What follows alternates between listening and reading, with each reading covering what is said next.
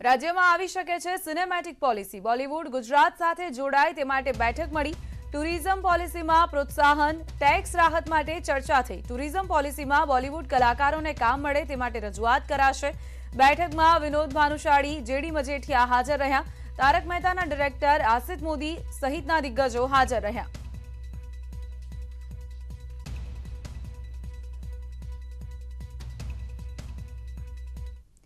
નવ હજાર કરોડ રૂપિયાના હેરોઇન કેસમાં ધરપકડ કરવામાં આવી છે. મુંબઈમાં બે અફઘાની નાગરિકો સહિત ત્રણ લોકોની ધરપકડ કરવામાં આવી છે. ડાયરેક્ટર ઓફ રેવન્યુ ઇન્ટેલિજન્સની મોટી કાર્યવાહી. નશાના કારોબારના કેસમાં અત્યાર સુધીમાં પાંચની ધરપકડ કરવામાં આવી છે. હાલમાં બંને અફઘાની નાગરિકોની પૂછપરછ ચાલુ છે.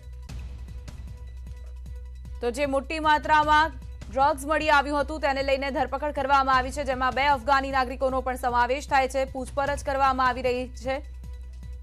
મુંબઈમાંથી આ બંને નાગરિકોને ઝડપી લેવામાં આવ્યા છે. અફઘાનિસ્તાનના તેમની સાથે અન્ય એક વ્યક્તિની પણ ધરપકડ કરવામાં આવી છે. અત્યાર સુધીમાં નશાના કારોબારના કેસમાં પાંચ લોકોની ધરપકડ થઈ ચૂકી છે. તો પાછલા સપ્તાહમાં જે રીતે એક બાદ એક ડ્રગ્સ મળવાના કિસ્સાઓ સામે આવ્યા હતા. તેમાં તપાસનો ધમધમાટ તેજ કરવામાં આવ્યો છે અને કાર્યવાહી પણ તેજ કરાઈ છે. છેલ્લા એક સપ્તાહમાં દરિયાઈ માર્ગ નશીલા પદાર્થો ઘુસાડવાના મોટા ષડયંત્રનો પર્દાફાશ થયો, જેમાં પોરબંદરથી પકડાયેલા નશાના કારોબારનું પાકિસ્તાન કનેક્શન સામે આવ્યું. મુન્દ્રામાંથી ઝડપાયેલા ડ્રગ્સનો જથ્થો દસ હજાર કરોડ રૂપિયાનો હોવાનો ખુલાસો થયો. પ્રથમ કન્ટેનરમાંથી બે હજાર કિલોગ્રામ, બીજા કન્ટેનરમાંથી એક હજાર કિલોગ્રામ મળીને કુલ ત્રણ હજાર કિલોગ્રામ જેટલું હેરોઇન ઝડપાયું. આ ષડયંત્રમાં સામેલ બંને આરોપી હાલ દસ દિવસના રિમાન્ડ પર છે. આ મામલે ડીઆરઆઈની ટીમ હવે ચેન્નાઈ, વિજયવાડા અને દિલ્હી જશે, તો બીજી તરફ પોરબંદરમાંથી પણ ત્રીસ કિલોગ્રામ, એટલે કે દોઢસો કરોડ રૂપિયાના હેરોઇન સાથે એક ઈરાની બોટ અને સાત ક્રૂ મેમ્બર્સને પકડી પડાયા છે. તેઓને સોમવારે પોરબંદર જેટી ખાતે લાવવામાં આવ્યા. મુન્દ્રામાં ઈરાનથી વાયા અફઘાનિસ્તાન થઈને હેરોઇન આવ્યાનો ખુલાસો થયો હતો. ત્યારે પોરબંદરના દરિયામાંથી ઝડપાયેલા હેરોઇનના જથ્થાનું કનેક્શન ઈરાન ઉપરાંત પાકિસ્તાન સાથે હોવાનું પણ સામે આવ્યું છે. ખુલાસો થયો છે કે પોરબંદરથી પકડાયેલી ઈરાની બોટ શ્રીલંકા જઈ રહી હતી. જેનો ઈરાદો પંજાબમાં પણ હેરોઇન પહોંચાડવાનો હતો. એમના થુરાયા ફોનથી જે આનો ઈરાની ડ્રગ માફિયા હતો ઇમામ બક્સ એણે એના કેપ્ટન જે ક્રૂ મેમ્બર હતો, એને કીધું કે તું ત્યાં રોકા ઈરાન શ્રીલંકા નથી જવાનું અને હું પંજાબ આ માલ મોકલવાનો છે.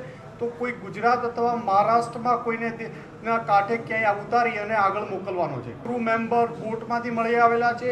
આ ઉપરાંત ઈરાનના એક ખાન સાહેબનું નામ આવેલું છે, ઇમામ બક્સનું નામ આવેલું છે અને પાકિસ્તાની ગુલામનું નામ સામે આવેલ છે. વડોદરામાં ચાર્ટર્ડ એકાઉન્ટન્ટ અને ઇન્વેસ્ટર સામે બળાત્કારની ફરિયાદ થઈ છે. યુવતીએ નોંધાવેલી ફરિયાદ મુજબ કંપનીના માલિક અશોક જૈન અને ઇન્વેસ્ટર રાજુ ભટ્ટે કેફી પીણું પીવડાવીને દુષ્કર્મ આચર્યું હતું. એલએલબીનો અભ્યાસ કરતી યુવતી પર સીએ કેફી પીણું પીવડાવીને દુષ્કર્મ આચર્યું અને બાદમાં ઇન્વેસ્ટરે પણ માર મારીને દુષ્કર્મ આચર્યું હતું. દુષ્કર્મ બાદ નરાધમોએ યુવતીને જમીનમાં પચાસ ટકા ભાગ આપવાની લાલચ પણ આપી હતી. એટલું જ નહીં, ફરિયાદ કરશે તો ફોટો અને વીડિયો વાયરલ કરવાની ધમકી પણ આપી. હાલમાં ગોત્રી પોલીસ મથકે યુવતીની ફરિયાદ બાદ બંને નરાધમો સામે દુષ્કર્મ અને ધાક ધમકીની કલમો હેઠળ ગુનો નોંધાયો છે.